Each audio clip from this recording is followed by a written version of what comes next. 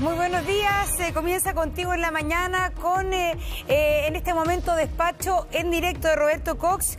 Momentos cruciales y definitivos que se viven en el juicio contra Nicolás Cepeda. Estamos a minutos que el juzgado, este, este, estos nueve jueces que componen el tribunal den su veredicto respecto a la inocencia o culpabilidad de Nicolás Cepeda en la muerte de Narumi Kurosaki. Claro que sí, estamos eh, a la espera de este veredicto. Está Roberto Cox en Francia. Estamos afuera de la sala donde se va a leer, ¿no es cierto?, esta sentencia, este veredicto. Eh, en solo minutos, recordemos que son nueve jueces, seis eh, ciudadanos, tres magistrados, los que componen, ¿no es cierto?, finalmente este jurado, que va a determinar si Nicolás Cepeda, primero, es culpable o inocente. Después, en segundo lugar, no sé si tuvo la intencionalidad de hacerlo o no. Y tercero, eh, si había concubinato o no. no claro. Es que eso finalmente eh, son eh, cosas importantes porque tienen que ver con eh, la pena y la condena que deba cumplir.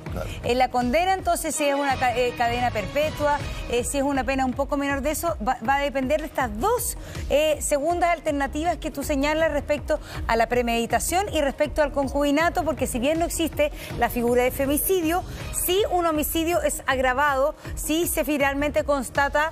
Eh, convivencia dentro de una, en, una pareja. Eso es lo que se va a leer en un ratito más, ¿no es cierto? Estamos a minutos de que esto ocurra. Hoy día habló Nicolás Cepeda, se quebró, lloró, dijo que lamentaba haber estado en medio de todo esto, pero que él era inocente. Eh, Roberto Cox, ¿cómo está usted, señor? Ya en los minutos finales para que se conozca toda esta, esta finalmente esta sentencia de parte del jurado francés. Roberto.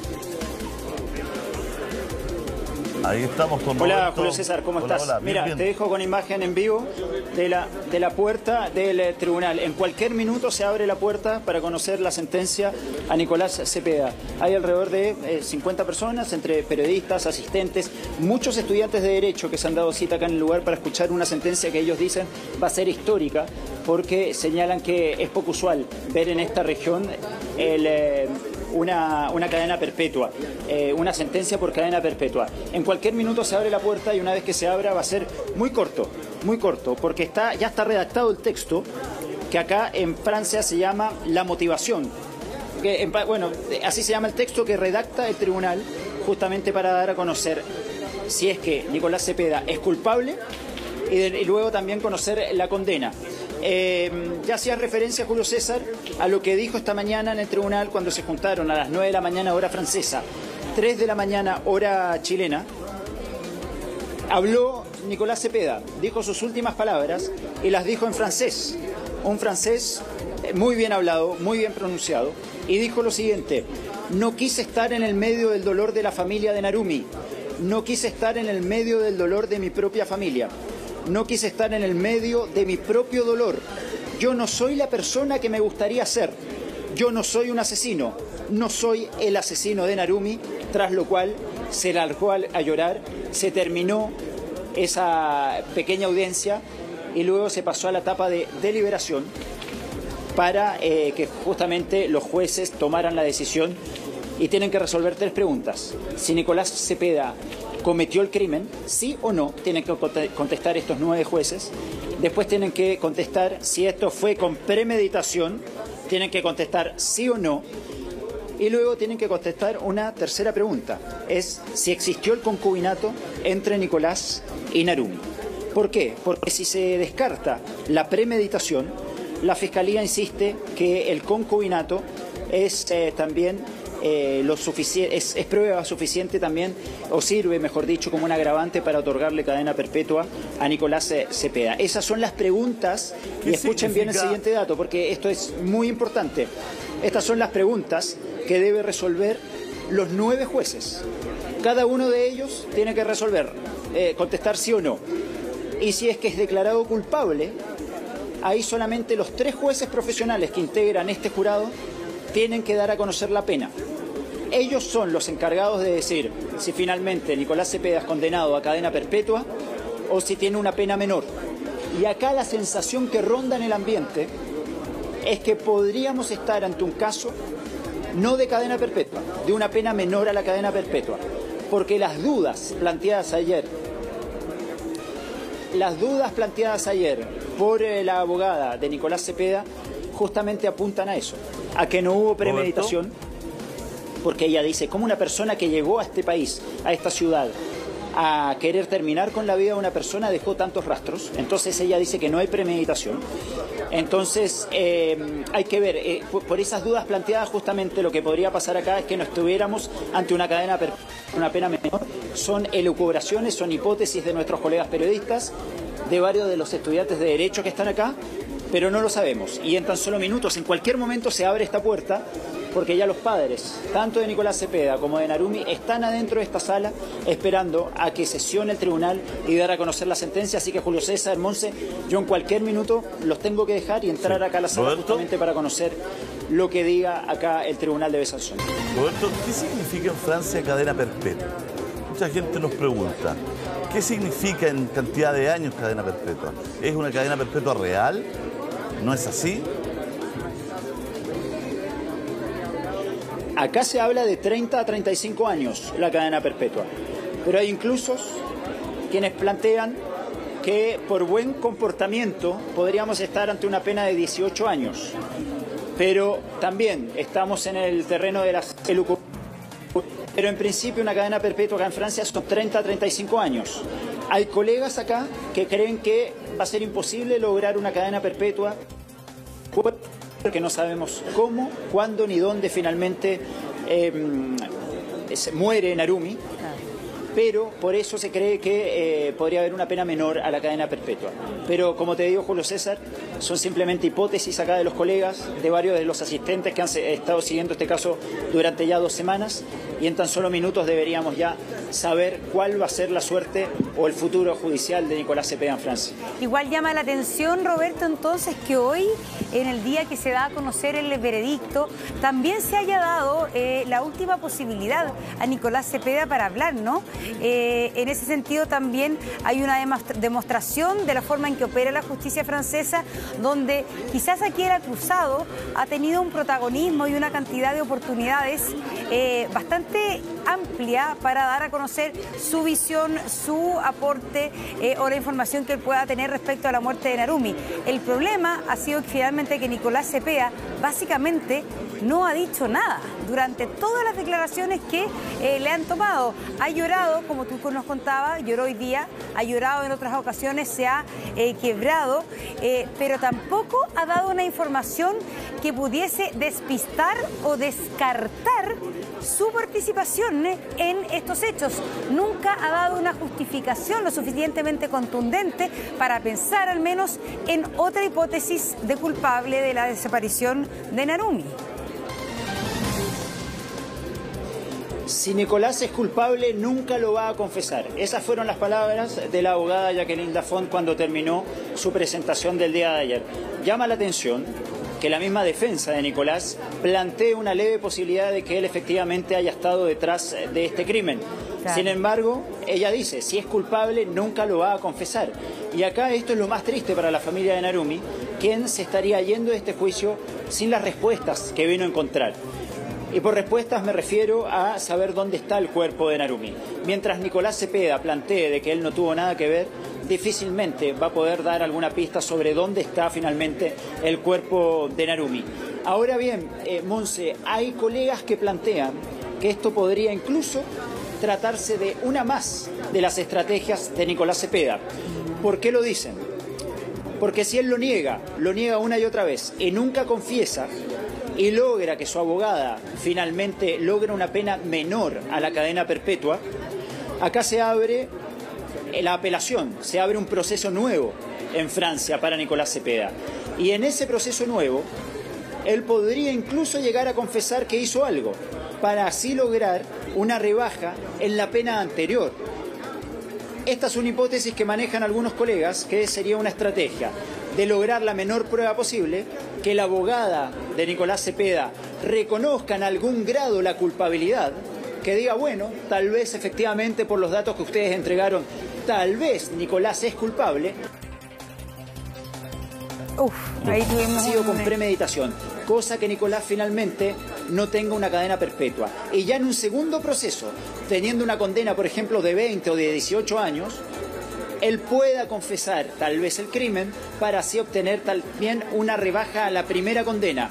Es algo intrincada la hipótesis, pero son eh, eh, algunas elucubraciones que manejan acá los colegas, que sería la estrategia de Nicolás justamente para tratar de sacar la mayor ventaja a este proceso judicial que sin duda no va a terminar hoy que va a haber una apelación, que va a seguir en otra corte, que tal vez se mueva de ciudad porque el jurado tiene que ser completamente distinto.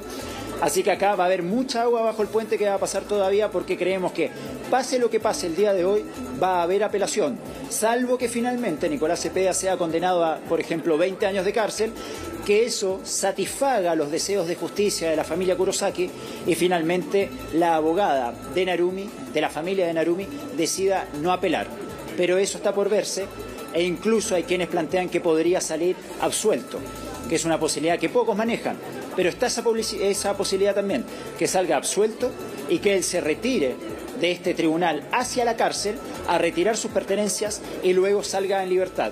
Un escenario que pocos manejan, pero que tampoco hay que descartar. ¿Qué edad tiene Nicolás Ahora tiene 29, ¿tiene Nicolás? ¿Corto? 31. 31. 31 años, ¿ah? 20 años, 51 años. ¿eh? Mira. Bueno, una situación eh, en este momento que estamos viviendo, ¿no es cierto?, eh, importante, ¿no? Hemos estado varios días encima de este caso, arriba de esta historia.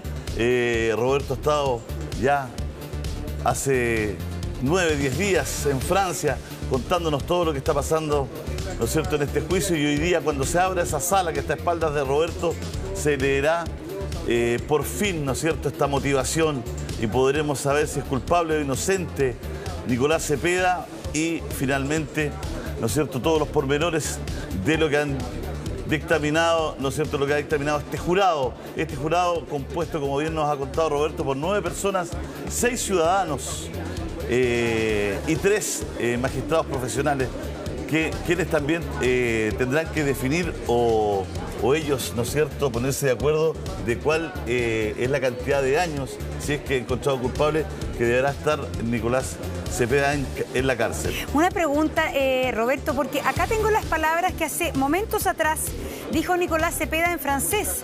Nunca quise estar en medio del dolor de la familia de Narumi, el dolor de mi familia, mi propio dolor. No soy quien quiero ser, pero no soy un asesino, no soy el asesino de Narumi. Gracias. Y tú lo decías, lo dijo en francés.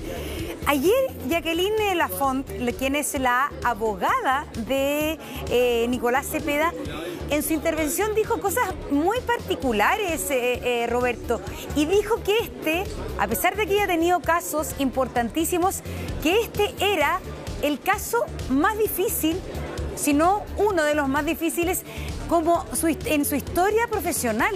¿A qué se refería con eso, Roberto? Y llamó la atención también, porque eh, llama la atención que ella haya tomado este caso. Acá en Besalzón se sorprendieron mucho cuando se enteraron de que justamente el estudio de abogados de Jacqueline Lafont se estaba haciendo cargo de todo esto. Y se refiere a que hay muchas zonas misteriosas y que ha sido un caso muy difícil.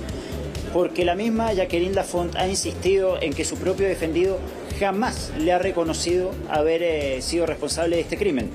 Bueno, es la abogada, entonces podemos poner en duda sus palabras pero habla, ahí se está abriendo la puerta. A ver, miren, acá los dejo en vivo. Esto es lo que está pasando a esta hora acá en el tribunal. Se acaba de abrir la puerta. Está entrando el público. Yo creo que em, hay, eh, hay alrededor de 50 personas que van a entrar. No hay mucho más lugar que eso. Es una sala muy pequeña. Y después hay unas salas eh, aledañas donde también el resto de las personas pueden seguir el juicio. Pero aquí hay gente que incluso llegó a las 6 de la mañana para poder em, para poder presenciar este juicio, hacer la fila y no quedar afuera, porque ayer fue mucha la gente que quedó afuera, que no pudieron entrar, igualmente se quedaron esperando y, y, finalmente no pudieron entrar, porque quien entra a esta sala no se quiere perder ningún detalle y no está dispuesto también a dejar su lugar para otra persona. Es el día que más gente hemos visto, sin duda, pero una vez que ya esté llena la sala, los guardias cierran la puerta y no puede entrar nadie más. Adentro de esta sala ya está la familia de Narumi. Adentro de esta sala ya está la familia Cepeda. Y en cualquier momento entran eh, los jueces para dar a conocer una sentencia que debería ser muy breve. La lectura de la sentencia debería ser muy breve para finalmente eh, después salir de esta sala y les vamos a dar a conocer todos los detalles. ¿Qué dijeron los jueces? Recuerden que hay que resolver tres preguntas acá. Si Nicolás Cepeda es culpable de homicidio, si actuó con premeditación y si, si existió un concubinato y Narumi. Esas tres preguntas tiene que resolver el tribunal. Y si es declarado culpable después de esas tres preguntas, y si, y si es acogido alguno de estos agravantes, la premeditación o el concubinato, em, si, se, acoge, eso, eh, finalmente son los tres jueces profesionales los que tienen que decidir son los tres jueces profesionales los que tienen que decidir finalmente cuál es la pena que va a pesar sobre Nicolás Cepeda. Pero esta lectura ya está decidido, ya el texto está redactado, acá en Francia se llama la motivación y va a ser leído muy brevemente, es un, es un resumen, es un párrafo muy breve, así que esto debería Roberto, ¿tienes que irte a la sala o no? ¿Tienes que irte a la sala? ¿Lo vas a ver de la sala contigua? Sí, sí, sí, sí, sí. tendríamos que entrar, yo los, dejo, Los, dejo pasado en vivo y después salimos apenas sepamos algo. Ya. Vaya nomás, vaya nomás. Eh, el uso de la mascarilla optativa ahí, ¿no? Listo. Vaya nomás, Roberto, nosotros comentamos. Parece que el fondo... es, optativo, pero, pero nadie la usa. Sí, ahí está, ahí está, porque vimos a la entrada que habían tres personas con mascarilla y 47 sin mascarilla. Ahí ya entra Roberto Cox eh, para presenciar, ¿no es cierto?, estos minutos finales. Eh, bueno, es tanta expectativa que hay, eh, Monse, ¿ah? Tanta expectativa que que hay en nuestro país, ¿no es cierto? En Japón también y por supuesto en Francia. Esto está ocurriendo, en este instante se va a leer, ¿no es cierto?, esta sentencia, esta motivación, ¿no es cierto?, que va a contestar estas preguntas. Eh, se ha filtrado, se ha dicho que es un texto corto, ¿no es cierto?, en el cual vamos a saber finalmente si este jurado encuentra culpable o inocente a Nicolás Cepeda, ¿no es cierto?, si hubo premeditación o no, y si hubo concubinato entre Nicolás y Narumi. La verdad es que eh, acaba de entrar Roberto Cox, vamos a estar informándoles de todo lo que ocurra instante a, minuto a minuto lo que ocurra dentro de la sala, Monse. A ver, es interesante, ayer Roberto Cox nos señalaba cómo es el sistema, cómo opera, ¿no es cierto? Entonces, aquí dentro de los nueve jurados, recordemos que son eh, eh, seis jurados civiles, eh, personas comunes y corrientes y tres jueces profesionales.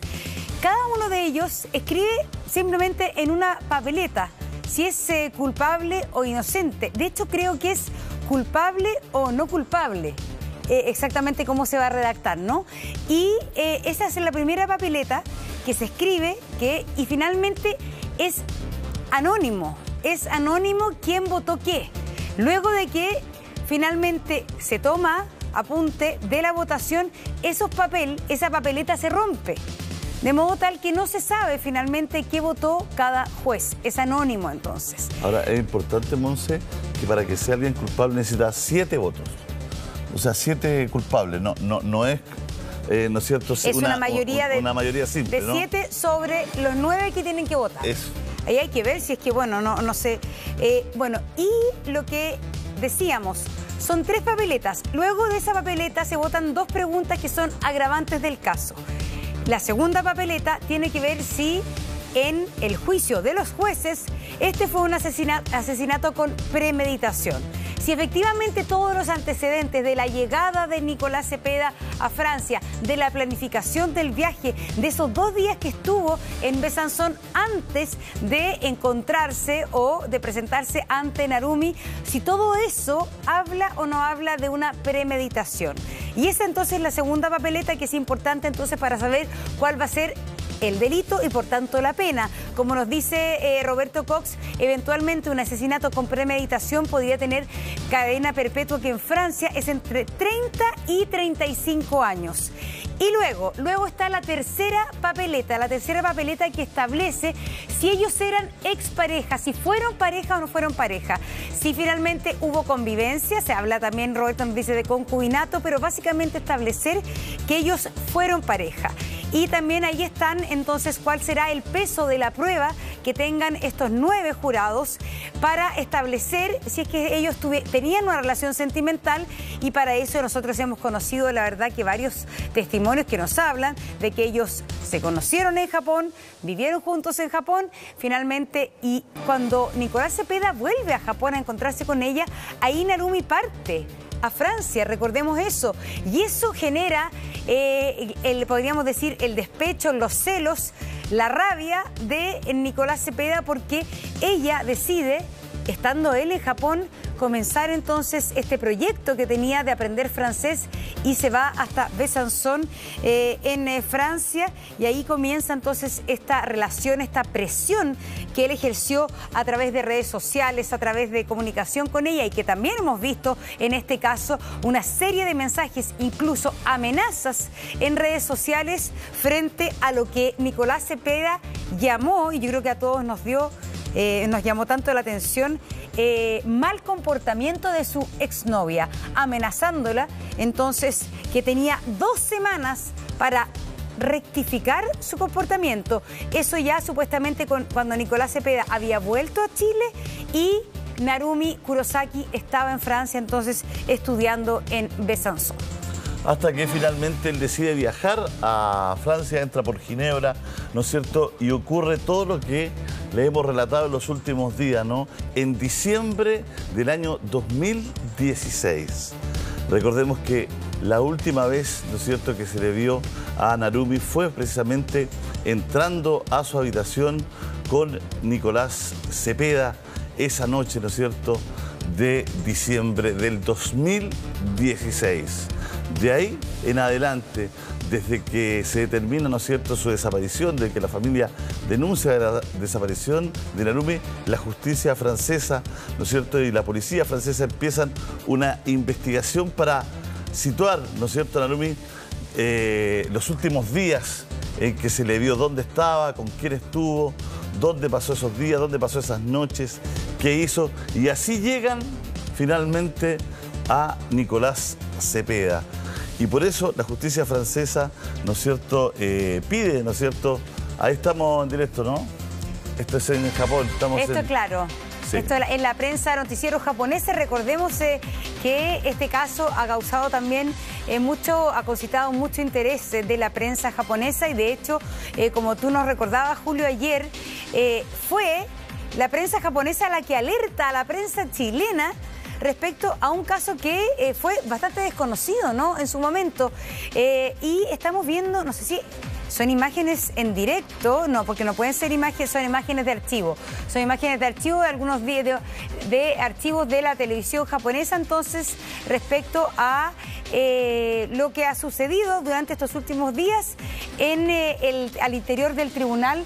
Recordemos que eh, en este momento se está dando a conocer, se está dando a conocer, estamos viendo en eh, pantalla, en la sala de audiencia, al interior de esta sala, el veredicto, algo que debiera ser corto, algo que debiera ser corto porque hoy día entonces se fundamenta en esta audiencia si es culpable o inocente y luego entonces se establece cuáles serían las causales o no de una cadena perpetua. Eh, van a ser entonces los tres jueces profesionales los que luego determinan la pena que debe cumplir si eventualmente es declarado culpable.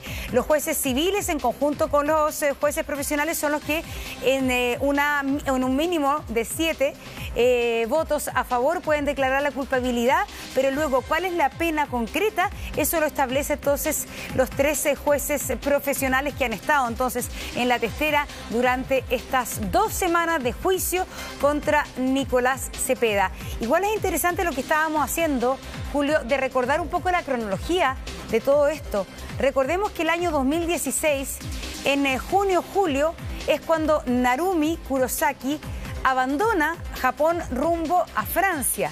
Y ahí entonces se vuelve Nicolás Cepeda a Chile y comienza esta, eh, podríamos decir, relación a distancia pero que luego se rompe, especialmente cuando eh, Narumi Kurosaki comienza una nueva relación.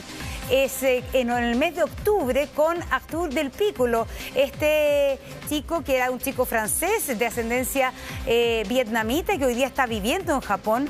Bueno, y ahí entonces es cuando el no se ven, ni Narumi con Nicolás no se encuentran eh, desde julio del 2016 hasta cuando secretamente viaja Nicolás Cepeda a Besanzón. Y decimos secretamente porque esa ha sido la propia confesión y declaración de Nicolás Cepeda entonces en el tribunal.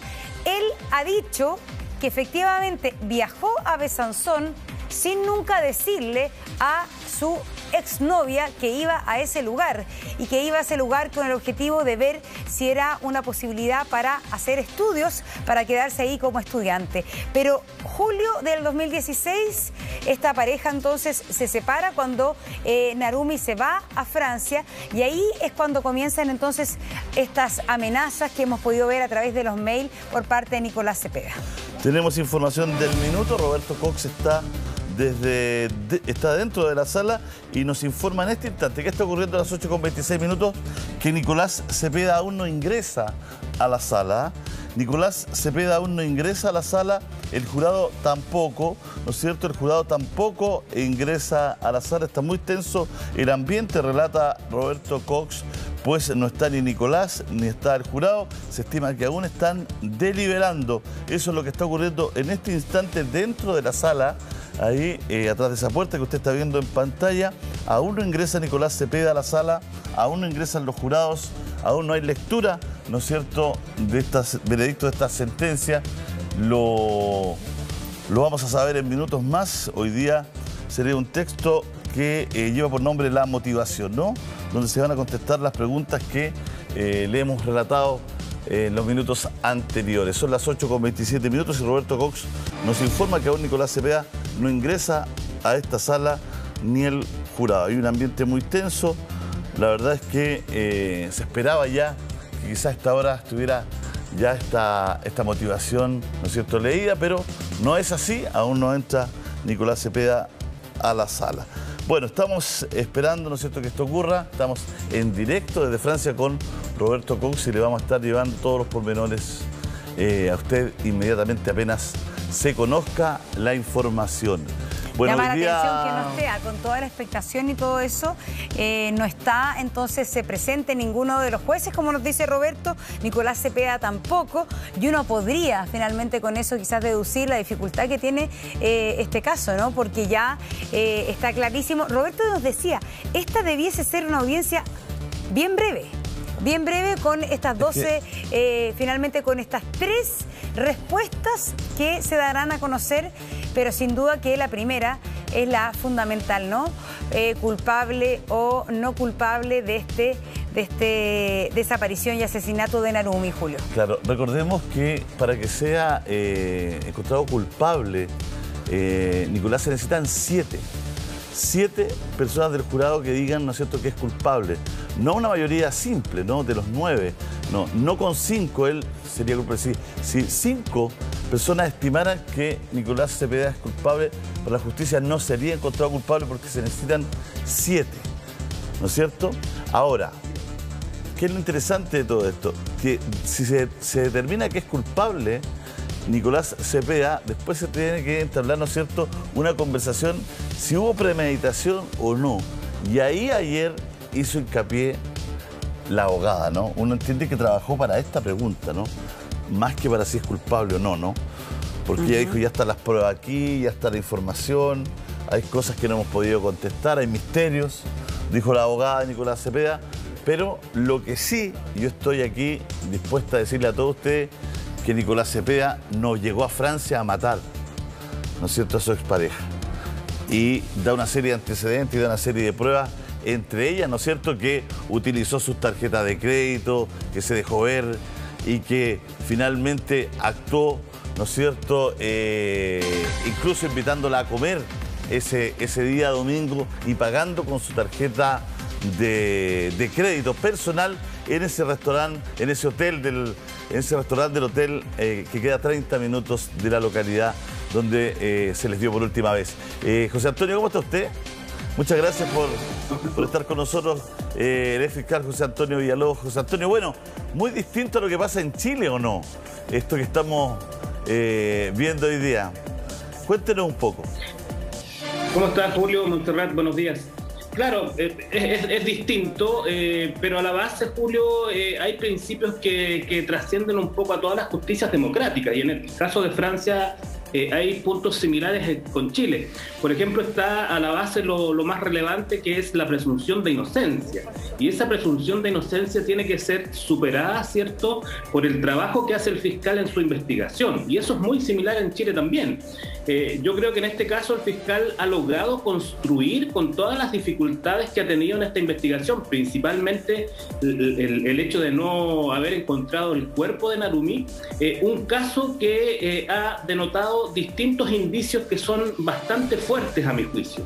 Y eso finalmente puede llevar, y así yo lo había dicho, al tribunal a adquirir una convicción de condena en este caso. Más allá si es con premeditación o no, yo creo que aquí hay elementos importantes, independientes, que tiene dificultades la investigación, que son dificultades serias. El hecho de no tener el cuerpo encontrado, Pero si fuese en Chile, José Antonio, es que para entender bien, porque también en creemos pero quizás no tiene hoy día tanta jurisprudencia.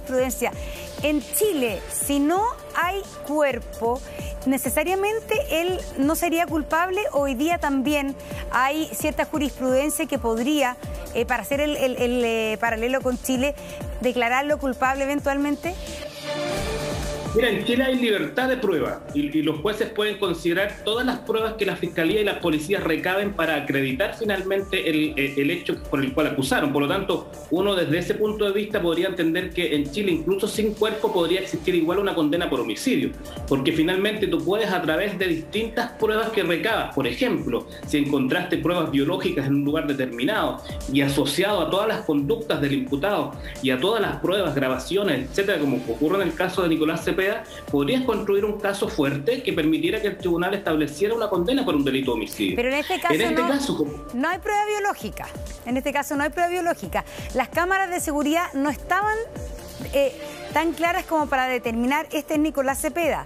Hay otras cosas como son el auto, el GPS del auto, la compra del bidón y el líquido y la benzina. Eh, pero en ese sentido, las pruebas que tú señalas que Chile podrían acreditar la culpabilidad sin cuerpo tampoco están en este juicio. Si esto fuera en Chile, finalmente, ¿cuáles para ti serían las, pruebas más contundentes que podrían eventualmente eh, declarar culpable a Nicolás Cepeda, es que se hiciera en Chile? Claro, mira, yo creo que, la prueba relevante es, precisamente la historia que hay detrás del caso, ¿no? La conducta que tuvo Nicolás Cepeda y precisamente me parece que es muy relevante el tema del análisis que se hizo de su teléfono celular. Todo el seguimiento que se hace en términos científicos de los lugares en los cuales estuvo, que son coincidentes, ¿cierto?, con Narumi. Y finalmente un indicio importante que, que no hay que dejar de lado eh, es aquel que cuando Nicolás Cepeda llega a Chile, eh, se produce incluso una activación del celular de Narumi en Chile, lo cual denota finalmente que, que esa es, un asunto que no tiene una explicación razonable distinta a aquella que sigue la tesis del fiscal de Francia. Es decir, la última persona que estuvo con Narumi fue Nicolás Cepeda. Su teléfono celular se activa prácticamente por última vez en Chile, una vez que Nicolás Cepeda llega a Chile. O sea, ¿qué explicación razonable puede entregar Nicolás Cepeda respecto de esa activación? Y ahí está el punto, ¿no? O sea, aquí todos estos cuestionamientos que hay respecto de la conducta de Nicolás Cepeda finalmente no pueden eh, ser sinónimo de una condena, pero si tú los construyes en relación a la teoría del caso que tiene el fiscal, por cierto que van tomando una razonabilidad importante para finalmente arribar a esta conclusión de condena. Porque yo creo que la estrategia del fiscal, y, aquí fue, uno puede decir tal vez fue aventurado en deducir una acusación por un delito de homicidio si no tenía cuerpo, pero no hay que dejar de lado que el fiscal también ha obtenido condenas en Francia sin cuerpo. Viene saliendo Roberto, un segundito. un segundito, José Antonio. Viene saliendo Roberto Cox del tribunal, así que estamos en este minuto en contacto. Roberto, estamos contigo al aire si nos escuchas. Sí, salí un segundito de la sala porque hay pésima señal. Intento informarles a través de, las redes sociales y de WhatsApp, pero no, no conecta acá dentro del celular. Todavía no entra Nicolás, todavía no entran los jueces. La sala está repleta, hay mucha tensión en el ambiente. Los abogados de, eh, por ejemplo, el abogado de Astro del Piccolo, que, a quien hemos entrevistado en varias ocasiones, se pasea, camina en así en redondo. La hermana de Narumi está con el celular en la mano y está permanentemente escribiendo mensajes muy, muy rápido. Los padres de Nicolás Cepeda también están escribiendo mensajes permanentemente. Eh, se respira cierta Estamos, estamos con mira al público y, em, y permanece todo en silencio en la sala y estamos esperando que ingresen los jueces en cualquier momento, ingrese Nicolás, así que les voy a dejar una vez más, simplemente salí un segundito para darle información y actualizar un poco lo que estaba pasando acá adentro. Hay mucha expectación periodística, hay un montón de cámaras acá esperando porque apenas empiezan a hablar, esto va a durar yo creo que un par de minutos y ya estaríamos en condiciones de dar a conocer eh, la sentencia. Y veo allá al fondo, allá al fondo en la vereda, hay muchísima gente en la, en la vereda es que está eh, esperando entrar, ya no lo van a poder hacer, ya esta sala está completamente llena. Y las otras, eh, está difícil girar la cámara porque hay mucha prensa, eh, pero estamos muy apretados con la cámara. Pero bueno, ese es el ambiente que se está viendo ahora. Y, em, y, también hay las salas aledañas, una sala dedicada para la prensa que también está repleta de, colegas nuestros y otra sala también para público general que también está atestada de personas. En este momento, cosa que no había pasado en días anteriores, nos dijeron que solamente podemos entrar siempre y cuando tengamos un asiento, que podamos estar sentados. No podemos permanecer parados, algo que sí se podía hacer en días anteriores. Bueno, seguimos acá atentos, yo los dejo. Eh, en cualquier momento entra Nicolás, entran los jueces y estaríamos en condiciones ya de conocer la sentencia para el chileno acá en. Vaya, Roberto, vaya nomás, vaya. No vaya a perder su puesto ahí o lo que sería peor que se leyera la sentencia sin que usted estuviera ahí. Vaya nomás. Vaya, ahí está.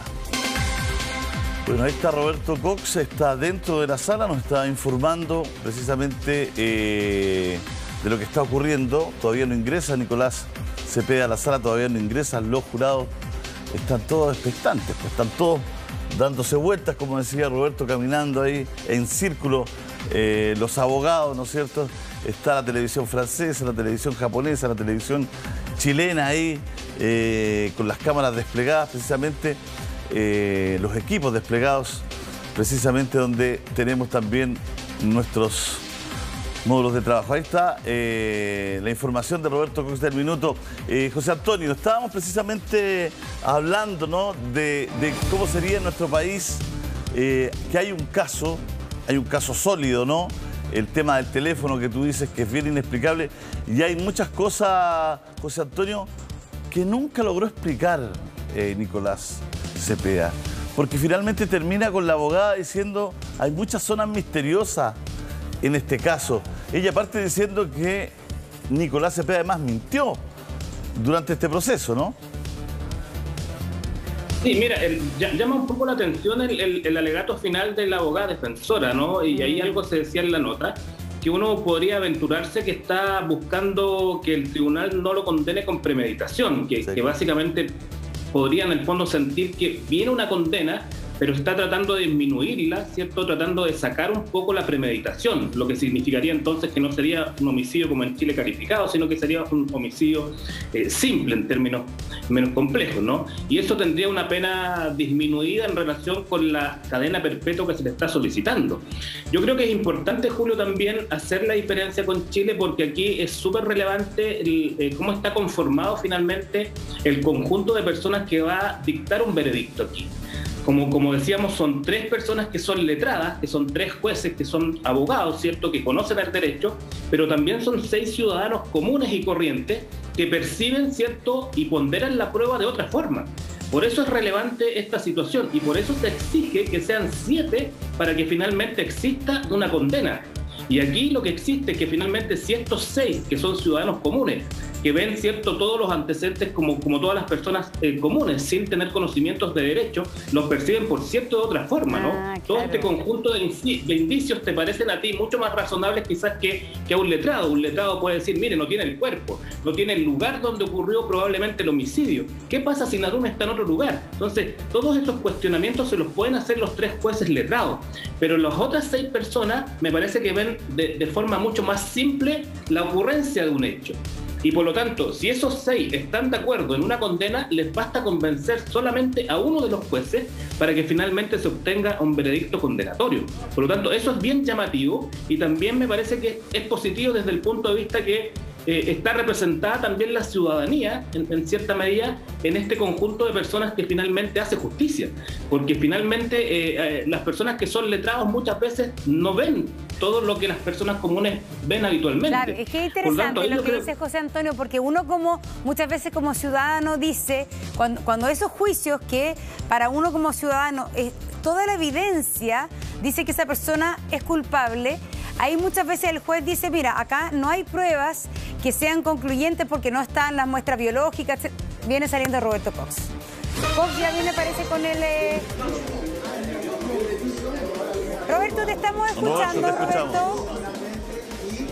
Sí, sí, Nicolás Cepeda acaba de ser declarado culpable. 28 años de cárcel para el chileno acá en eh, Francia. 28 años de cárcel, ha sido declarado culpable.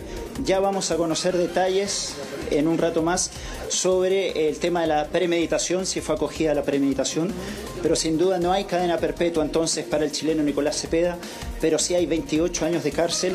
Yo les diría que ha sido una pena mayor a la que se esperaba eh, después de la intervención ayer de la abogada Jacqueline Lafont. Yo les decía que acá eran pocos los que creían que efectivamente iba a haber cadena perpetua. Sin embargo, eh, ha sido alta la pena, 28 años. De hecho, cuando se dio a conocer la pena, em, se, escucharon murmullos en la sala, mucha gente se miró entre sí porque consideraron que era una pena alta. Recordemos que se creía que iba a ser menos porque eh, justamente se habían planteado varias dudas. Sin embargo, son 28 años de cárcel para el chileno Nicolás Cepeda. Se habló también acá recientemente en la lectura de la sentencia de una prohibición de permanecer en el suelo francés.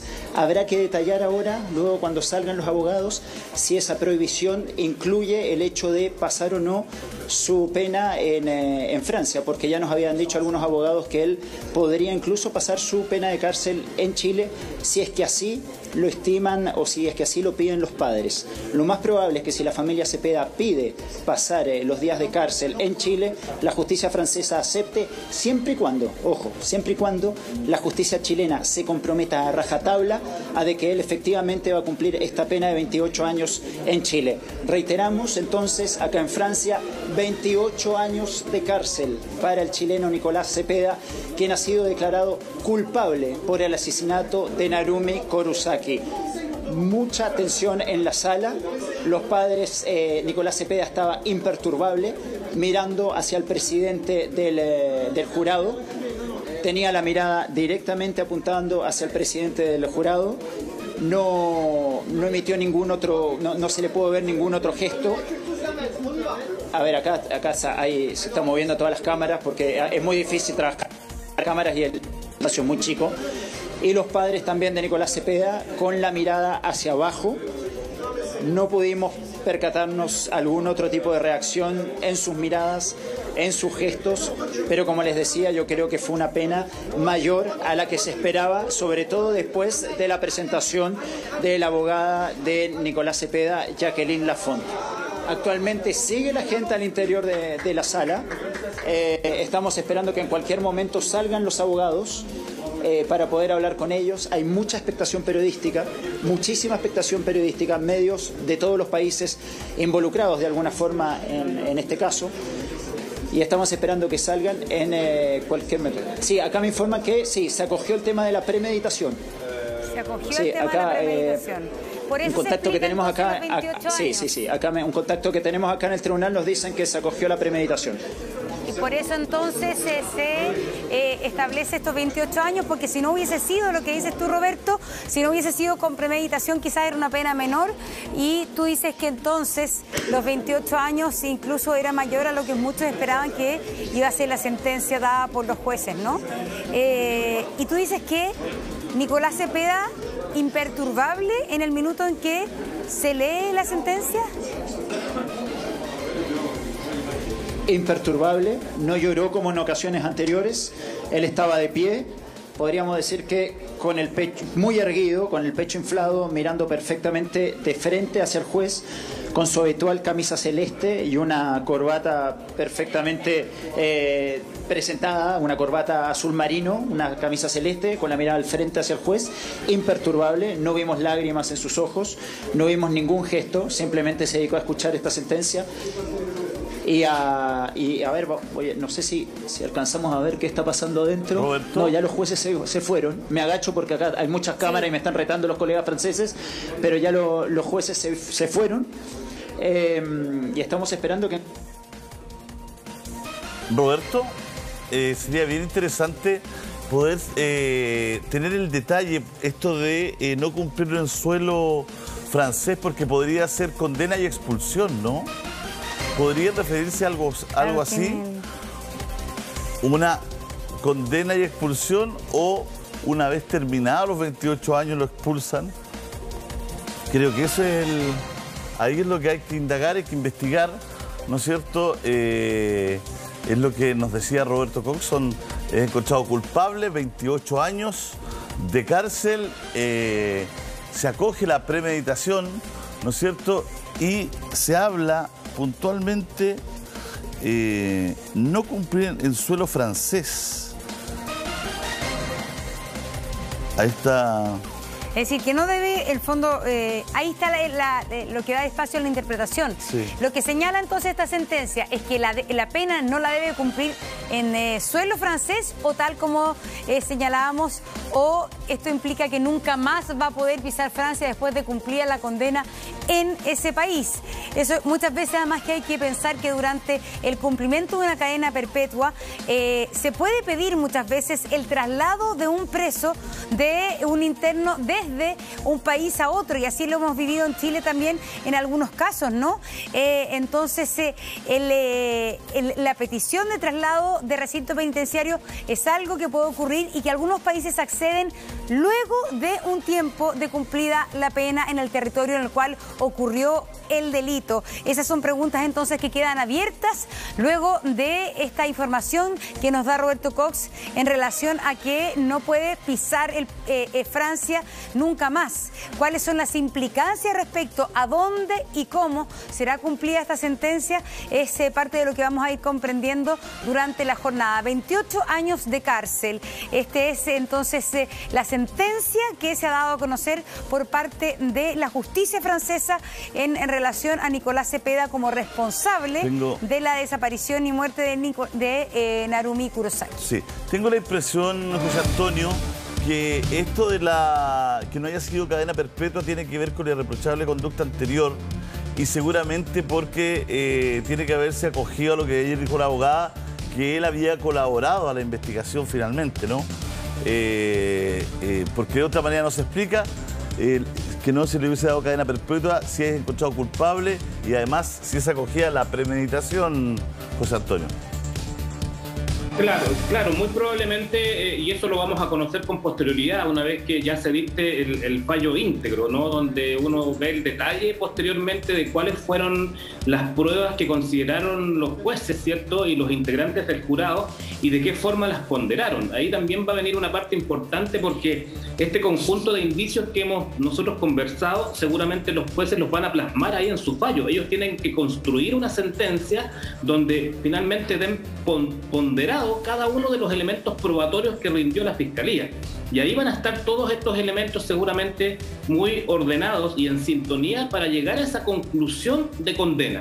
Claro, se acogió la premeditación, eh, muy probablemente también por todos estos, eh, estos registros que fueron quedando respecto a la conducta de Nicolás Cepeda, ¿cierto? La utilización de su tarjeta de crédito, eh, el viaje que no tenía ningún sentido más que ubicar a Narumi, toda esta, planificación que finalmente es la premeditación, seguramente está plasmada en todos estos elementos probatorios que hemos, que hemos descrito, ¿no? Y, la pena me parece que es una pena alta. yo, yo, yo diría que este es un, es un éxito para, para, la, para el caso. De hecho, Roberto dice que era es más alta de lo que todos pronosticaban. ¿ah? Es que el concepto de cadena perpetua igual es relativo. Porque 28 años, eh, cadena perpetua nos decía Roberto que es entre 30 y 35 años. ¿28 años qué es? ¿Cómo se podría calificar eso?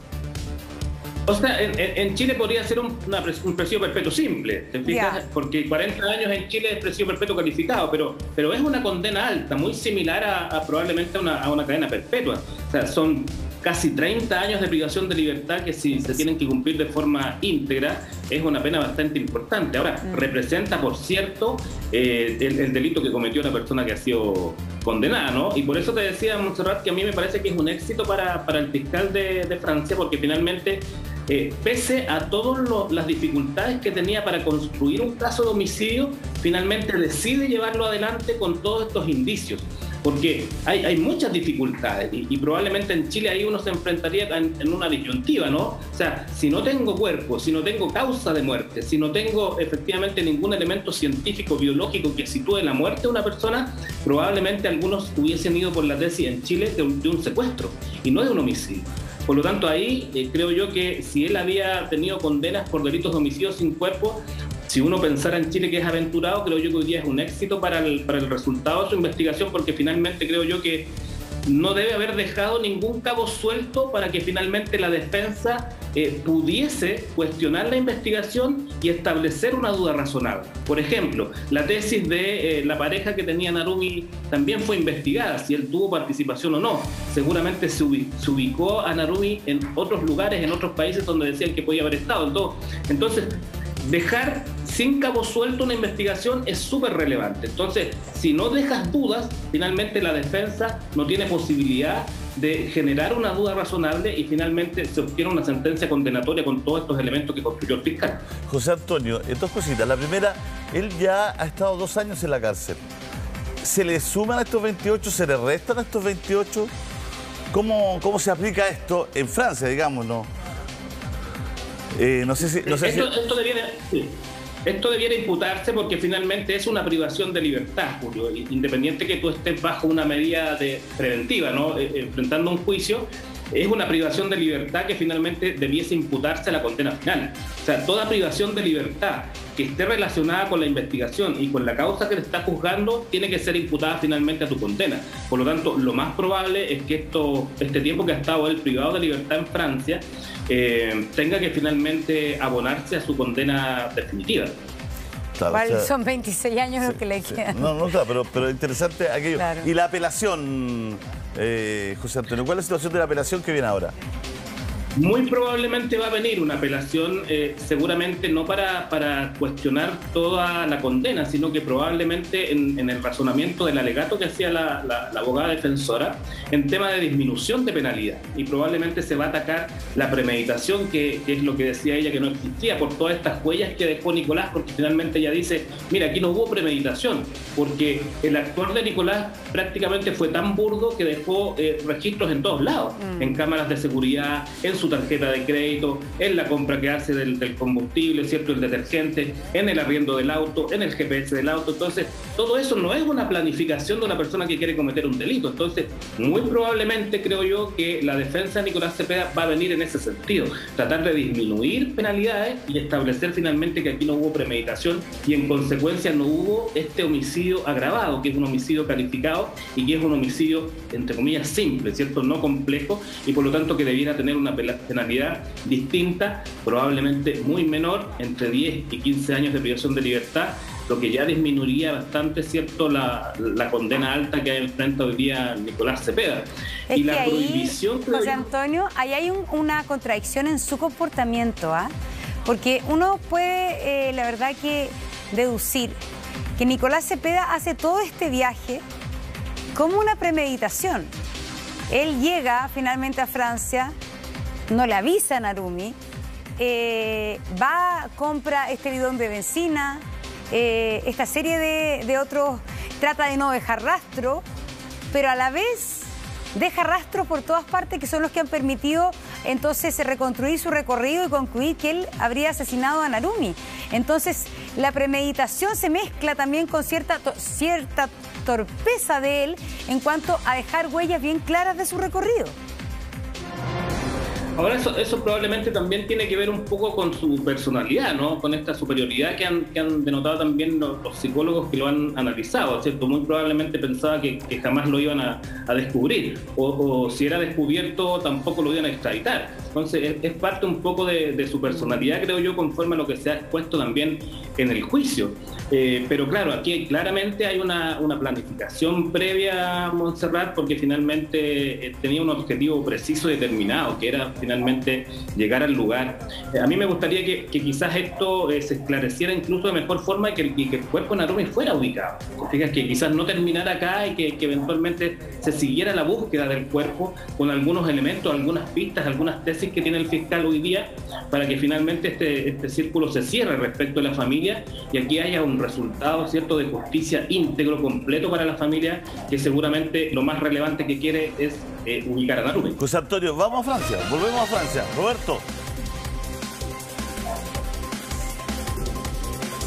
Sí, Julio César. Eh, bueno, ya hay un pequeño receso acá adentro porque se van a seguir discutiendo una serie de, de temas operativos y técnicos de lo que ven ahora en la sentencia. Hay un mes para que puedan eh, apelar a esta resolución de 28 años.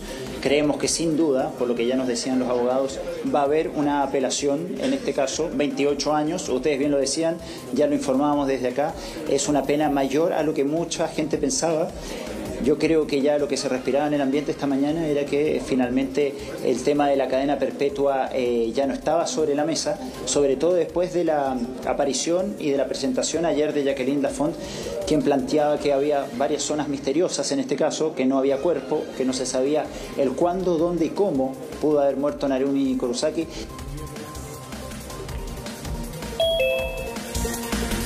A pesar de la ausencia de cuerpo, sí Nicolás Cepeda es el responsable, el culpable por este homicidio. 28 años de cárcel, recién se estaba detallando lo que debería pagar entonces la familia Cepeda a la otra parte, a la parte civil, los encargados de defender entonces los intereses de la familia Kurosaki, también eh, los intereses de Astios del Piccolo, quien era otra de las partes civiles que intervenía en este caso. 250 millones de pesos aproximadamente es lo que deberían pagar entonces la familia Cepeda eh, como compensación por todo lo que ha ocurrido en este juicio, por todos los gastos legales, etcétera, que han ocurrido justamente para defender los intereses de la familia de la estudiante japonesa y los intereses también de Astios del Piccolo. Recordemos esta pareja que tenía Narumi Kurosaki acá en Francia, quien fue sindicado en primer lugar como el primer sospechoso en todo esto, pero que rápidamente fue descartada su participación en la muerte y la desaparición de la estudiante japonesa. Hay una gran cantidad de medios al interior todavía se mantiene el público porque creemos que los jueces van a volver en cualquier momento. Eh, nosotros hemos estado eh, yendo y viniendo para tener alguna información de lo que está pasando y lo que podría pasar también en los próximos minutos. Adentro están los abogados, estamos esperando también que salgan para que den sus primeras impresiones y ver también la posibilidad si es que definitivamente la familia de Nicolás Cepeda también va a hablar al fin con la prensa. No lo ha hecho durante todo este proceso, lo hizo solamente al principio del juicio solamente con un diario local, con l'Est Républicain, que es el diario acá de Besançon, donde el padre de Nicolás Cepeda asegura que su hijo es completamente inocente, que acá no se han recogido o recopilado pistas científicamente comprobables y que no se han seguido también otras líneas de acción y otras pistas. Eso es lo que planteó el papá Humberto Cepeda, el papá de Nicolás, antes que comience el juicio a un diario local. Siempre nos han dicho durante todo el juicio que algún día van a hablar. Pensábamos que lo iban a hacer este fin de semana, dos días antes de la sentencia. No lo hicieron.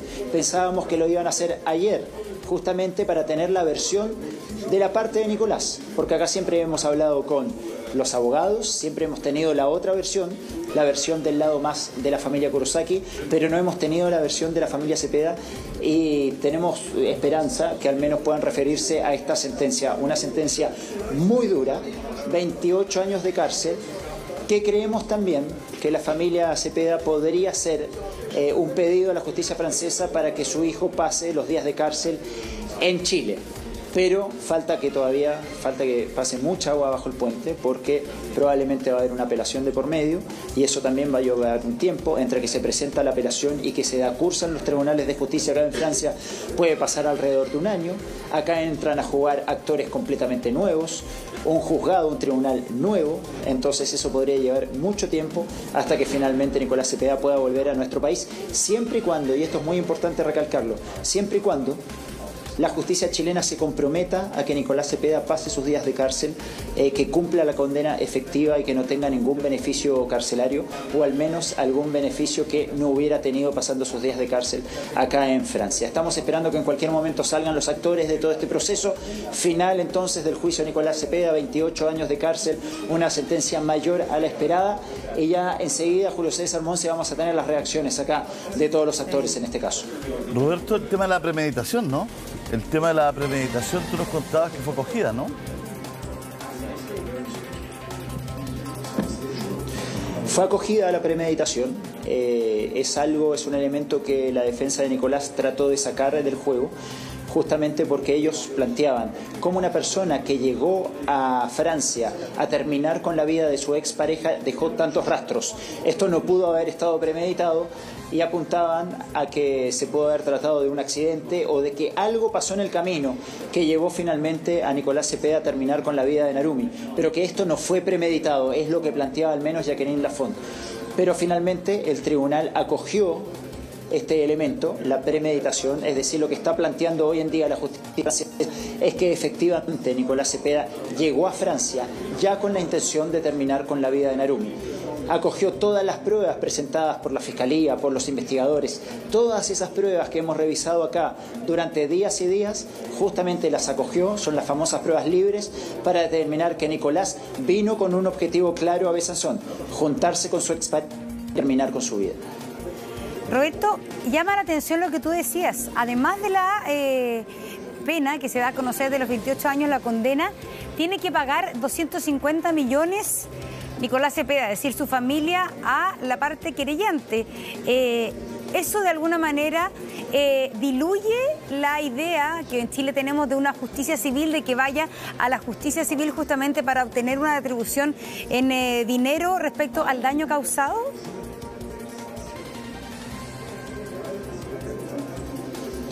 No, yo, a ver, por lo que pude entender, porque tuvimos que salir muy rápido acá de las salas para poder eh, llevarles lo antes posible la, información, este es, un dinero que tiene que pagar la familia Cepeda para costear justamente los costos en los que incurrió la familia Kurosaki eh, en, este juicio, los costos del juicio, claro, los abogados de la familia Kurosaki, el abogado de la familia de Narumi, y acá este, este ha sido un juicio carísimo para la justicia francesa, ha sido sin duda también muy costoso para todas las familias que han debido pagar pasajes desde Japón, desde Chile, estadía acá en Francia, y además ha sido también un juicio muy costoso para la, la misma justicia porque, eh, por ejemplo, acá había tres traductores de cada lado, había tres traductores que traducían del francés al japonés, había tres traductores que traducían del francés al español, por eso nos decían desde un principio, esto no va, no va a durar más de dos semanas, porque justamente lo que está tratando de hacer la justicia acá en Francia es ajustarse el cinturón. No tienen mucho presupuesto para llevar a cabo juicios de este tipo. Entonces la idea siempre del juez era terminar todo esto lo antes posible. Y como ustedes pueden ver, ellos nos habían dicho, se asoma la encargada de prensa, pone una cara extraña, como le llama la atención la cantidad de medios que hay. Eh, hemos hablado con ella también varios días para que ver si, teníamos la posibilidad de, de, coordinar alguna entrevista con la familia Cepeda, pero no hubo caso. Eh, y como les decía, bueno, la justicia francesa está tratando de ajustarse el cinturón y por eso este juicio era muy caro para acá, para el Tribunal de Justicia de Besanzón y pudimos ver que finalmente se cumplieron con los plazos. En un principio el fiscal incluso había dudado de que esto finalmente iría a durar dos semanas, se habló de tres semanas, de un mes, pero finalmente, como pueden ver, el cronograma se cumplió al pie de la letra y en dos semanas, hoy martes, tuvimos la sentencia tal como se nos había dicho desde un principio. Así es, Roberto. Bueno, eh, hay mucha expectativa periodística, no, Roberto? Nosotros no, no podemos ver, no tenemos tu visión, tu mirada, pero, pero al parecer hay mucho movimiento ahí, ¿no? Sí, me siento intimidado, Julio César. Tengo, tengo más o menos 10 cámaras apuntando acá hacia donde estoy hay radios locales de Francia, hay medios japoneses, hay medios de todos los países que están involucrados en este caso y es sin duda el día en que más medios ha habido acá en el Tribunal de Justicia. Ni siquiera el primer día que fue los primeros antecedentes, cuando se presentaron las partes, ni siquiera ese primer día había habido tantos medios acá en el Tribunal de Justicia. Este sin duda es el día con, con, más movimiento acá, con más asistentes, con más conmoción en el pueblo y también con más interés que ha despertado también en la prensa local y extranjera el caso, un caso que de hecho los mismos abogados, un caso inaudito en la historia criminal francesa, un caso que ha llamado mucho la atención, estamos hablando de una desaparición, pero una desaparición eh, bastante extraña, una desaparición que tiene elementos que han hecho que este caso sea tan seguido por la prensa, por los espectadores también, porque hay varias zonas de misterio, pero también hay varias zonas de certezas sobre la estadía de Nicolás Cepeda en Francia, sobre lo que hizo días antes, sobre lo que hizo durante su encuentro con Narumi a partir del 4 de diciembre y lo que hizo después. Porque recordemos que lo que pasó después de aquel 6 de diciembre también entregó pistas claves justamente para terminar condenando a Nicolás Cepeda a 28 años de cárcel. Las pistas del celular, el hecho de que el celular de Narumi haya seguido el mismo itinerario que Nicolás Cepeda hasta Chile. El celular de Narumi, recordemos, emitió su última señal el 13 de diciembre, el mismo día en que Nicolás Aterrizó en el aeropuerto de Santiago, el hecho de que Nicolás se haya juntado con un primo en España días después y que no le haya contado nunca que estuvo con Narumi acá en Besanzón, después que el mismo Nicolás asegurara acá que pasaron 30 horas de pasión encerrados en ese pequeño cuarto de 9 metros cuadrados. En fin, son muchos los detalles entregados antes, durante y después que finalmente terminan por incriminar a 28 años de cárcel a Nicolás Cepeda Canfrás. Mira, tengo el texto, eh, Roberto, respecto entonces a eh, la compensación monetaria que debe hacer la familia de Nicolás Cepeda, porque dice, en cuanto a la audiencia de intereses civiles, eh, eso quiere decir, podríamos decir que, en este caso está unida la justicia civil con la justicia penal, porque aquí dice en cuanto a la audiencia de intereses civiles, la abogada Galé de la familia de la víctima solicita para cada progenitor la suma de 50 mil euros, para cada eh, progenitor de Narumi, 48, eh, 44 millones eh, de pesos chilenos, más o menos, para cada uno de los progenitores de Narumi. Y para cada una de las hermanas, la suma de 40 mil euros por concepto de inmenso daño moral sufrido. Eso equivale más o menos a 35 millones de pesos. Y también el abogado de Artur del Pícolo solicita 5 mil euros por daño moral, especificando que este dinero será donado a una asociación benéfica. Esto es más o menos eh, 4